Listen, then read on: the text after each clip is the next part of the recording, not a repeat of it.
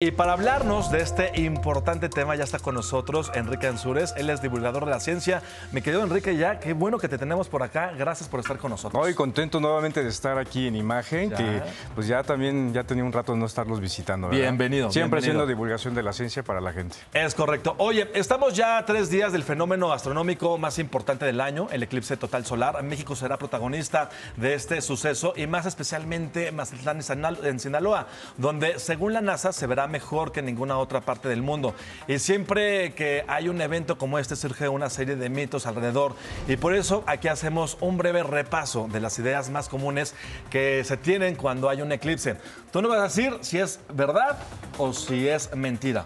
¿No? Dispara. ¿Te parece bien? Ahí va. Dispara. Mito o realidad. Las mujeres embarazadas tienen que usar listón rojo alrededor del vientre. Mito, totalmente es una, una farsa. No se preocupen las mujeres embarazadas, pueden ver el eclipse siempre y cuando con la protección en los ojos esté adecuada. Porque ¿verdad? por ahí decían de las abuelitas antes, ¿te acuerdas? Que pueden sufrir de un aborto las mujeres embarazadas o que los niños podrían sufrir de labio leporino y que por eso se ponían un listón rojo con un seguro O aparte. con llaves colgando. Con llaves. Sí, yo lo viví en el 91. todos Sí, ¿te esos mitos. acuerdas? Sí, exactamente. Y fuera, fuera de- del aire hablábamos sobre el eclipse del 91, que fue un, un evento. Yo estaba muy pequeñito, pero Sí. lo recuerdo muy bien. Para mí fue muy impactante. Yo estaba en Xochimilco. Recuerdo cómo todos los, los, este, animalitos como que se confundieron y se fueron a, dormir.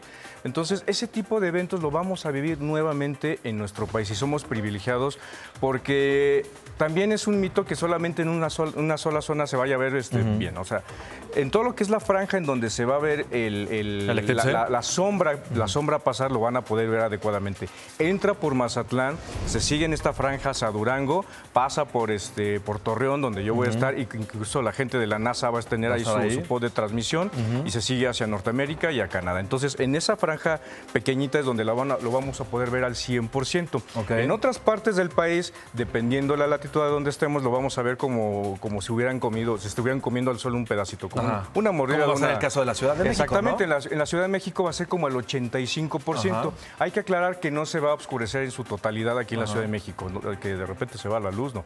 Eso sí va a pasar en esta franja por donde entra por Mazatlán y se sigue hacia, hacia Torreón, ¿verdad? Vámonos al siguiente mito. Mito realidad, los eclipses son un indicador del mal augurio y terribles presagios, como sismos, tsunamis, todo ese tipo de cuestiones. No, ¿Mito no, no o son- realidad? es un mito, son falsas creencias. No hay manera de que estos eclipses puedan predecir una tragedia natural. ¿no? No, no, no, Perfecto. Vámonos al siguiente. Mito realidad, la luna es más grande que el sol y por eso lo cubre. No, el Sol es mucho, mucho más grande que nuestro planeta y que la Luna. Ok. Entonces, está a una distancia en donde los, los tamaños aparentes son iguales, pero en realidad la Luna es mucho más pequeñita. Perfecto. Mito realidad, los eclipses pueden provocar mareos, náuseas o dolor de cabeza. No, por supuesto que no, es un Tampoco, no tiene ningún, eh, ningún efecto en el cuerpo humano. Ninguno. Ni en el estado de ánimo, mucho menos. Ninguno. Ok. Yo les puedo decir que es más o menos, imagínense que están en la playa y que va pasando una persona y les tapa tantito la luz. Es lo mismo, es una sombra. Entonces no les afecta absolutamente nada. Mito realidad, si se prepara comida durante un eclipse, esta se puede echar a perder por la radiación. No, por supuesto, es un mito. Eso ya va a depender del chef. Mito o realidad que los animales pueden predecir estos fenómenos meteorológicos. No los pueden predecir, pero es- en ese momento se pueden confundir y se pueden ir a dormir. Ok, ah, eso se puede pasar, sobre Sí, todo las aves. ¿verdad? Se confunden, sí. Ajá. Oye, mi querido Enrique, estos lentes hay que tenerlos muy en cuenta para precisamente presenciar este eh, eh, fenómeno natural. Es correcto. Eh, para poder observar el eclipse de sol es muy importante tener eh, protección en los ojos y no es cualquier tipo de protección. Claro. Una vez les quiero aclarar a los televidentes que no usen papel de regalo de esos que, que es como metálico. Piensan, ah, este me puede servir porque pues, te, te filtra un poco Claro. la luz. No te va a, prote- a proteger. No usen radiografías porque luego dicen que las radiografías y no lo observen eh, en un reflejo del agua o de algún espejo porque Que yo te decía que en el 91, mis maestros, así lo vimos, estábamos en la primaria Es- y me acuerdo perfecto que lo vimos a través de un charco de agua. Sí, y es un poquito este, peligroso porque puede reflejar la, la luz que te puede dañar. Ajá. Siempre, siempre es bueno usar métodos este, que los astrónomos ya nos han dicho, como estos lentes se están distribuyendo, supongamos, en el Instituto Politécnico Nacional, en, el, en el grandioso eh, planetario Luis Enrique Guerrero, que es tan icónico para estos eventos, se van a estar distribuyendo de manera gratuita. Están certificados, los, los especialistas del Politécnico ya los, los tienen ¿Y revisados. son gratuitos? Son gratuitos para, el Para persona- para las personas. Tómense listos. su tiempo. Las actividades van a empezar a partir de las 10 de la mañana allá en Zacatenco y ya este, tienen este tipo de, instrumentos. Ya lo decíamos que no faltan los gandallas, mi querido Enrique, que quieran hacer su agosto vendiendo estos lentes pirata, porque si tenemos chelas y refresco de cola pirata que no hagan esto, ¿qué, ¿cuáles son los que, lo, que nos tenemos que observar? Bueno, para eh, que no nos de, entrada, de entrada, tú lo acabas de ver ahorita que estamos haciendo un experimento. No se ve nada, ¿eh? No se ve absolutamente O sea, aquí tengo las luces del foro de frente y con los luces, con esto no se ve absolutamente nada. Nada. nada. Entonces, si agarran un papelito que parece metálico y empiezan a ver alguna luz, dices, ya, como, como que empiecen a dudar, que no les den gato por liebre. Entonces, el público dirá, oye, pero ya no alcancé de esto, porque ya están escaseando, ¿no? Entonces, claro. ya, ¿cómo le puedo hacer? Bueno, hay un, hay un método muy seguro, pero hay que tener cuidado, hay que comprarlos en, buenos este, eh, lugares este, autorizados, estos eh, lugares comerciales donde compras eh, filtros para soldador, pero tiene que ser del número 14. ¿De 14 para arriba o el 14 es el máximo? Ese es el, ese es el más alto, el, que se recomienda. No usen uno menor. ¿Por qué? Porque el arco eléctrico produce una cosa que se llama radiación ultravioleta, que es la que hace que se nos queme la piel, supongamos, que nos puede incluso producir cáncer. Bueno, esa misma radiación nos puede quemar los ojos. Es bien importante aclararles a los televidentes que con o sin eclipse, mirar directamente al sol nos va a dejar ciegos. El eclipse como tal no te, no te deja ciego, es observar, a, observar el sol directamente. Ya me decías también fuera del aire que no es que la radiación del sol aumente con el eclipse. O sea, eh, durante el eclipse la radiación del sol va a seguir siendo la, misma, que con la o sin eclipse. Es como te decía, es el ejemplo de la persona que está en la playa, que estás tomando el sol y de repente te, alguien te, te, pasa y te da la sombra. Pues es lo mismo, es una sombra. Entonces, con o sin eclipse, mirar al sol te, te puede dejar este ciego, te puede dañar la retina.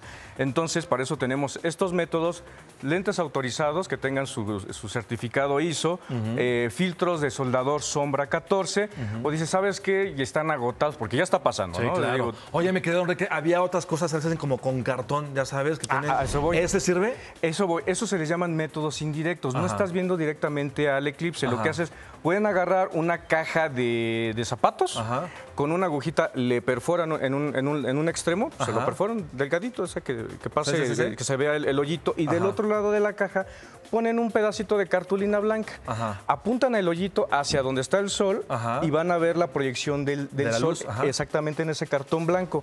Y ahí poco a poco van a ver cómo va avanzando. Va, entrando la luna este, en, el, en la, proyección del sol. Eso es totalmente seguro, porque no estás viendo directamente a, la, luz. Claro, perfecto. Mi querido Enrique, te quiero agradecer mucho que hayas venido con nosotros no, a es un placer. de este fenómeno. Es un placer. Y ya nos contarás de tu experiencia porque tú vas a estar, en Torreón con la gente, de, con la, con la, gente de la NASA, nada más y nada menos. Y, los amigos del Planetario de Torreón, caigan en el Planetario de Torreón, ahí vamos a estar todos, vamos a transmitir este, de manera directa, se los compartimos aquí imagen con mucho gusto.